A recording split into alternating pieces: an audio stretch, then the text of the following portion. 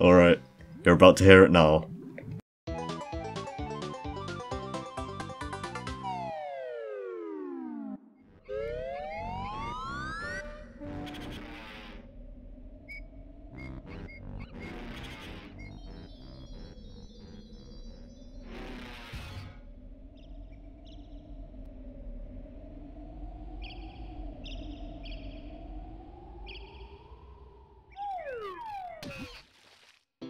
How's it going everyone? Fiber Optic Broadbean here, and it has been a while. But yep, today I'm finally back and we're playing Banjo-Kazooie. But before we get into this Let's Play, I'd like to address the elephant in the room.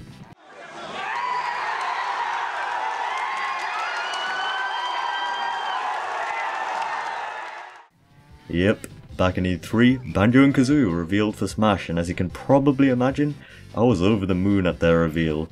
While I don't have my reaction recorded in any way, it was still pretty amazing for me to see them get into the game. If you guys watch my top 10 hopes for Smash Bros Ultimate, you'd know that they're number one, they were my number one hope, and it's pretty incredible to see that, see that happen, just to see your favourite characters, the ones you've wanted for such a long time, get into the game. But anyway, enough of that. Uh, that's not what you're here for. We're going to be playing some Banjo-Kazooie. So as you can see, this game clearly has a lot of personality. You can even tell that from the file select screen. You've got this this file where Banjo's asleep, you got Banjo cooking, and then you got this hardcore gamer Banjo with his Game Boy. But yeah, let's just select file 1 and get right into it. Here we go.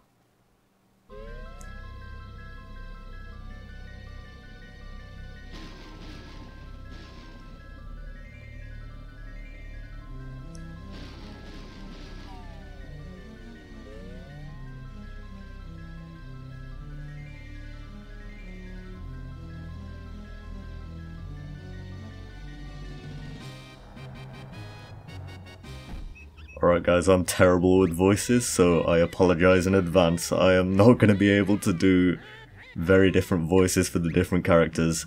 Why, it's Grunty any day. She really takes my breath away. Cough. So this is this cauldron here. Yes, you're right, I'm rather proud. My looks stand me out from the crowd. See, this is Gruntilda, the main antagonist of the game. Always speaks in rhymes for whatever reason. Uh, but there is this girl, says the cauldron. What do you mean? This cannot be. There's no one prettier than me. Why, it's Tooty, young and small. She's the prettiest of girl of them all. Oh man, I, have messed it up already. I, I can't read for some reason. Nicer beauty can't be had. Unfortunately, I think you'll find it's Tooty. She's cute and kind. Alright. And now Gruntilda, with her broomstick, is heading out. And speaking of Tooty, here she is. This is Banjo's sister. Running towards his house. And you'll notice the molehill here, and this is Bottles. Bottles the mole. He'll be helping us along this quest. Hi there, Tooty. What are you going to do today? this text scrolling. When my big lazy brother wakes up, I don't even know what this. We're gonna go on an adventure. and here we go. Here's Banjo, the man himself. He's asleep. Oh dear. Wake up! I want to go on an adventure too, says Kazooie. I know Kazooie, Tooty, and Gruntilda are girls, but yeah, my voice is stuck within a certain range that it cannot exceed, so as I said, I apologise for that. There's not going to be a lot of variety in these voices. Is that your brother? Where, Mr. Mole? I can't see him. Up there, in the sky. I mean, that doesn't quite look like a bear to me, but, um, you know, Bottles' as eyesight might not be the best. You'll soon be ugly, what a pity. Oh dear, that doesn't sound good. Let me go, you ugly old hag. Don't scratch and bite, my little bear. You'll soon need bigger under- oh dear, what's going on here? Oh no, she's got her, somebody. Help, says Bottles. Banjo, wake up! And of course, Banjo is still asleep. Oh dear. In a deep slumber. Yawn. I just said the word yawn. I mean, I don't think that's how it's intended to be read. Let's get outside, there's trouble. And here we go. We're about to get into it. So this is Banjo-Kazooie, the game. So, we're about to head on out and see what's happened with Tooty. So here's Bottles once again. Listen up, I'm Bottles, the short-sighted moles. There you go, short-sighted. That's why you thought Gruntilda's Banjo. I'm Banjo, and here's my buddy Kazooie. Sure is a strange-looking buddy, Banjo. Can it talk? Better than you can, Goggle Boy. What's all that noise about? And where's my sister, Tooty? Ugly Witch Gruntilda swooped down out of the sky and grabbed her, which, uh, did happen. Calm down, Geeky, we'll get her back. Where did she go? She flew up to her mountain lair, so that is Gruntilda's lair. That will be the main hub world of this game, and where we'll spend a large proportion of our time. And he's gonna ask us if we want to learn the basic moves, but I've played this game many a time, and um, I know how to play, so you bet we're good enough, Bottle Brain. Oh dear, Kazooie's being ruthless here. So we'll meet him at the top of Spiral Mountain. But yeah, Banjo-Kazooie is a standard 3D platformer. Uh, those were common back in the 64 era, but what Banjo-Kazooie, it was really special and really stood out amongst the uh, amongst the competition. It took what Mario 64 did, like Mario 64 was the main, the first big 3D platformer there was, and Banjo-Kazooie took the formula that Mario 64 had and perfected it really and it's honestly a spectacular game for the time. But yeah, we're gonna wander around uh, Gruntilda's oh! lair. As you see, I just killed. Was it a cauliflower? I wasn't paying attention, but uh, it dropped a honeycomb. That's the health unit for this game. So when you take damage, um, you lose your honeycombs, but you can collect those honeycombs to recover the health. But this right here is an empty honeycomb, and that little jingle sounds familiar, doesn't it?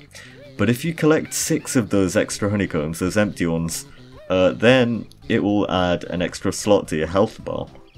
So we're going to be searching for five more of those in this episode around Spiral Mountain. So here we have a waterfall, which is very nice, and we have some platforms leading up to it. So I'm going to jump across once again. As you can see, when you try your best but you don't succeed say, uh, falling into the water. Uh, Kazooie helps because um, she essentially acts as a double jump. Uh, the team behind this, Rareware, they wanted a way to incorporate a double jump that worked naturally like, and didn't look out of place. When you try your best, but they originally had Kazooie as just a pair of wings in Banjo's backpack, and I'm for whatever reason completely incompetent as soon as I hit the record button. But yeah, they originally had Kazooie just as wings in Banjo's backpack, but then eventually they just fleshed out her character and she became her own, her own sort of entity alongside Banjo, and they became the duo we know and love. Oh, come on, there we go. And you'll see behind the waterfall that there's a little statue there. And that is an extra life, as you can see the counter just went up there. But yeah, we just need four more of those empty honeycomb pieces uh, in order to extend our life meter. We got some cauliflower here. We'll just uh, kill the cauliflower. Don't want any of that here. I don't know why the, the vegetables and stuff are evil here. I mean, they're not really evil, they're just wandering about. But yeah, we can climb the trees as you can see. Now this attack that I'm going to do now is called the Beak Buster, I believe. You'll probably recognize that if you saw the Smash trailer or if you've played the game before, obviously. But yeah, it can be used to smash rocks and other objects, and it's one of the most powerful attacks that Duo has initially. And there you go, that's another extra honeycomb piece for us, an empty honeycomb piece I should say. And up here, we'll find another cauliflower. And if we kill this cauliflower, there's another extra honeycomb piece. So, as you can see, we have nearly completed uh, a whole extra honeycomb. Um, one of the trees has something up it.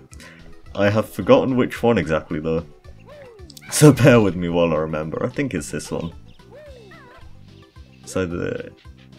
Yeah, okay, it's this one. See, there's the extra honeycomb.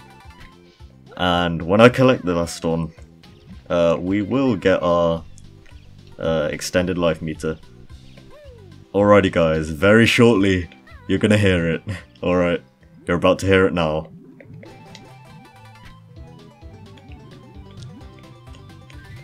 Yep, that's the same jingle I use for my intro, so yeah, that's pretty cool. Uh, pretty neat fact for you guys there if you didn't know that already, but yeah, my intro is the sound that plays when you complete an extra honeycomb for your life meter. But anyways, uh, as we said before, we're gonna meet Bottles up here at Spiral Mountain. Well, at the top of Spiral Mountain. This, what we're climbing up is Spiral Mountain. It's a mountain shaped like a spiral, which uh, is to be expected considering its name. So, let's see. Bottles should just be chilling up here in his molehill. There's a lot of those around here. So how you doing, Bottles? So you're ready to tackle the witch now? We sure are. Show us the way, Bottle Boy. Cross the bridge to enter Gruntilda's lair. Look out for me inside. Good luck, says Bottles. And I appreciate that um, good luck wish you gave us there, Bottles. I'm sure it will come in handy. But yeah, Bottles, he's a very helpful guy. Got another cutscene here, we've got Gruntilda and Tooty in some sort of machine that looks way too big for Tooty and uh, way too small for Grunty. This fine contraption, so I'm told, will make me young and Tooty old. Let me go, you fat hag, my brother will come and kick your butt, says Tooty.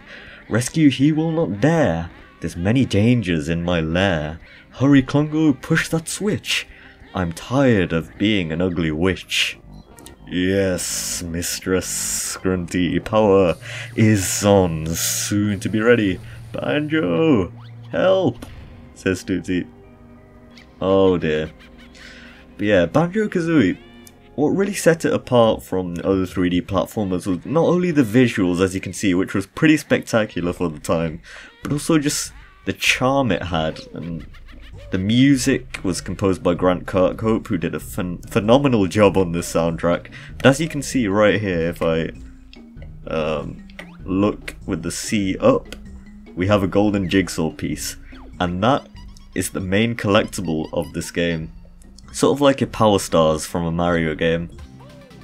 So these jigsaw pieces can be used uh, to open new worlds, which we're going to see very shortly. And by very shortly, I mean very, very shortly.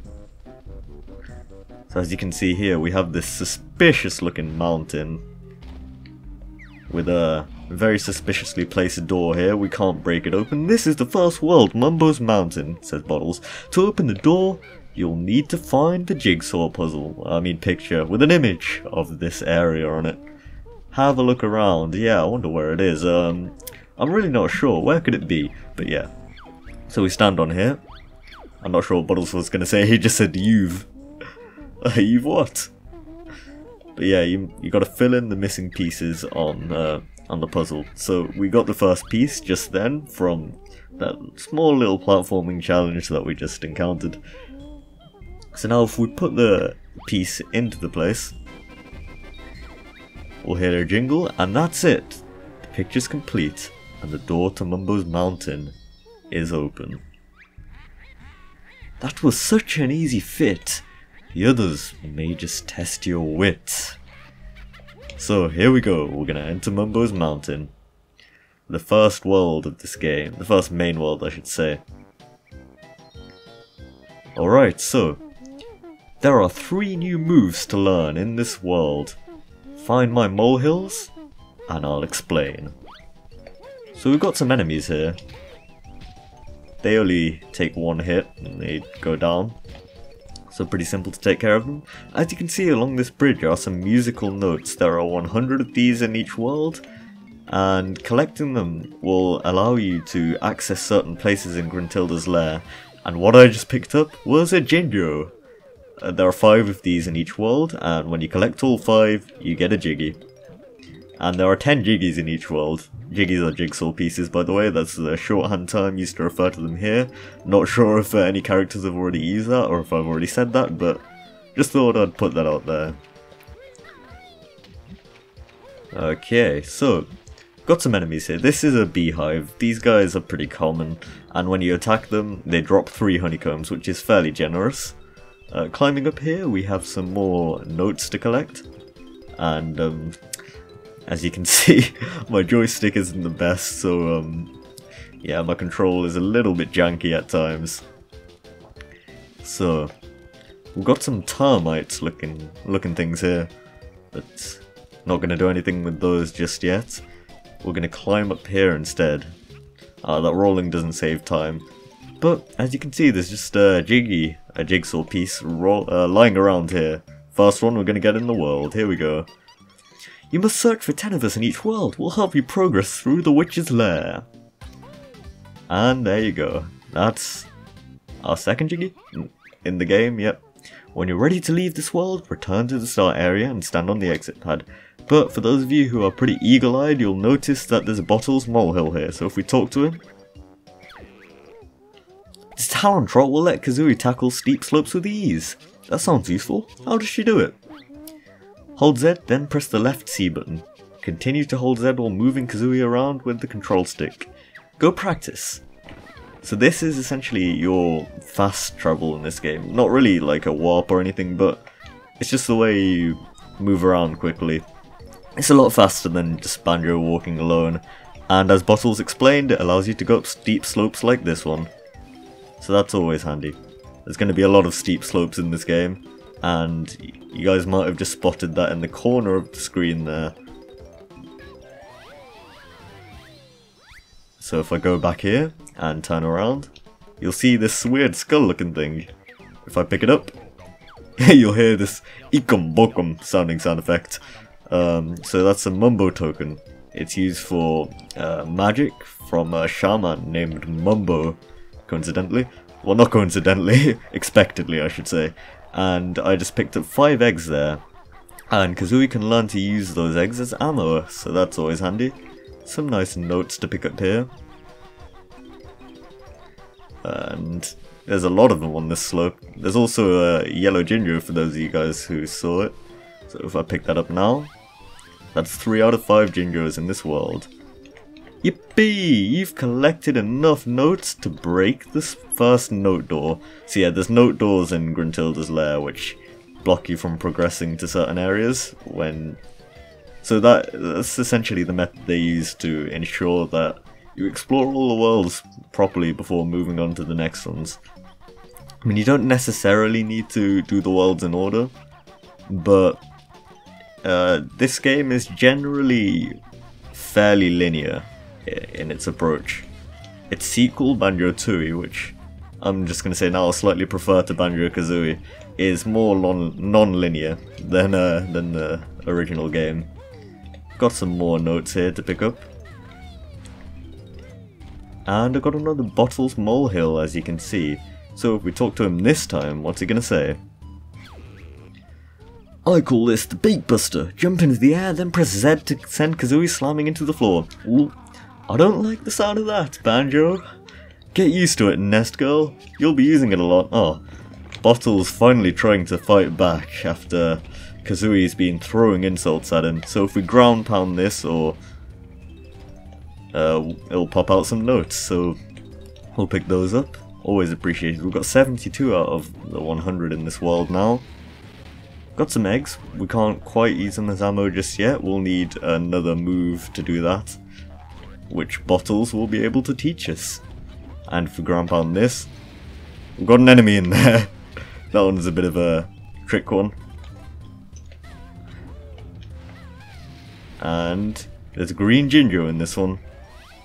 So just the pink one left in the world. When you try I completely missed that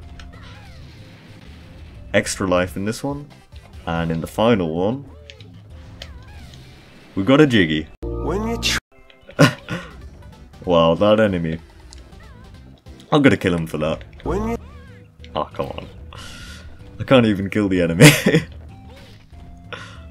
but yeah, this suspicious looking skull here is probably something we'll look towards next episode. So I'll just grab the Jiggy in its eye first uh, if I can actually successfully do it. I'm just suddenly turning incompetent, but that happens when you click record. As you can see, we've got a, another steep slope here. I was gonna say, I thought it was just gonna free fall there, and there wasn't gonna be a slope. But yeah, memory has served me well in this case. But we have another Jiggy here, just lying around on this slope. So that's our fourth Jiggy in the world, and our fifth Jiggy overall. That's 81 notes, 84, and as you can see, we've got a Mumbo token and a pink Jinjo, so I'm gonna pick that up. Oh, I completely just messed that up. Right. So here's the Mumbo token. Oh, oh, come on, mate. Really? These guys, they're just messing me up today. Ikom bokum. But yeah, if we backflip, there's the final Jinjo of the world. And here's a Jiggy. So there we go. We got a Jiggy. But on that note guys, I'm going to end off the episode. So thank you very much for watching. I really hope you enjoyed it. Next time, we'll be exploring more of Mumbo's Mountain. So I'll see you guys then. Peace.